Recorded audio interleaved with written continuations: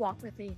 A vector database stores data as mathematical vectors or numerical representations, allowing LLMs to process and retrieve information according to similarity rather than exact matches. This powers use cases like search, recommendations, and text generation, where understanding the context of the data is important.